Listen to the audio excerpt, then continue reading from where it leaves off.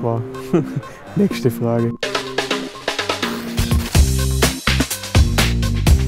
Mathematik. Weil es mir Spaß macht mittlerweile. Lernen, ähm, Gemeinschaft mit den anderen Lehrlingen. Motivation, Genauigkeit und selber arbeiten können. Eigenständigkeit. Na, weiß ich noch nicht. Das lasse ich spontan auf mich zukommen. Es sind zu viele. Ich habe nicht gewusst, was ich machen will.